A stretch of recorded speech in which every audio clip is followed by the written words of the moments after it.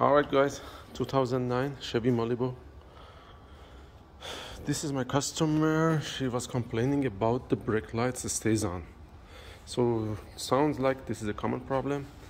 She had a recall a few years ago and she took it to the dealer. They fixed the problem. Now she refu- they refuse to do that again. I got the paperwork over here. But to make the story short we have that brake pedal position sensor failure if you want to locate that you need to take that cover off. Use the 7 millimeter socket. There is two bolts over here and one 10 millimeter over there. It's a kind of hard situation. You need to get all the way back in there. I don't know if you can look at it. And there is a small bolt small screw. Let me show it to you right here uh, which is the 7 millimeter. It goes right back there.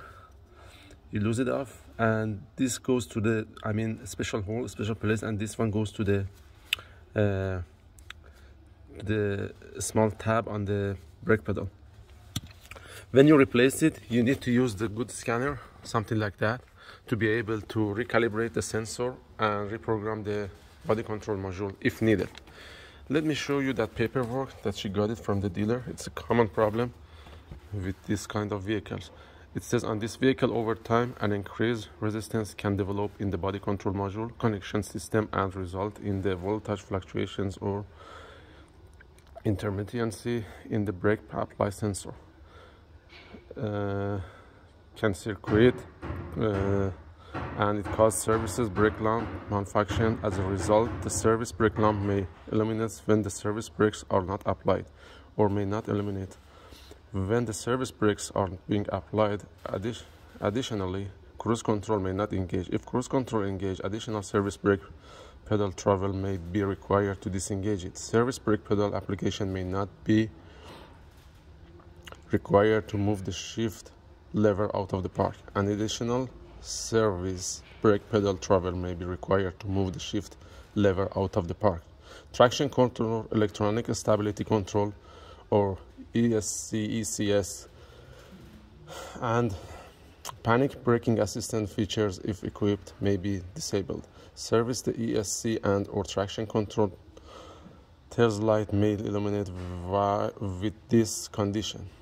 These conditions may increase the risk of the crash. So they refused to redo the job because they said it's have been a year, more than a year, and they don't uh, cover it more if it's past a year on the warranty or stuff like that. Anyway, that was a quick guide on that kind of Chevy Malibu Cruze or Sonics. They have the same problem on the brake control module, uh, I mean brake uh, pedal switch sensor. So I hope that video uh, help for you guys to give you a, I mean, guideline how to replace that one, how to, uh, uh, I mean, recalibrate you know, uh, like I said, uh, you need to use that kind of scanner to recalibrate it. You go to the automatic search, find out the VIN number, the vehicle, special function, and then it will give you the uh, option for the recalibrating the brake pedal switch. I'm waiting for the new one. It hasn't been arrived yet. As soon as I put it back together, I'm gonna get the procedure done, drive the car for like 5-10 miles, make sure everything is fine, and return it back to the customer. Thank you guys for watching. God bless.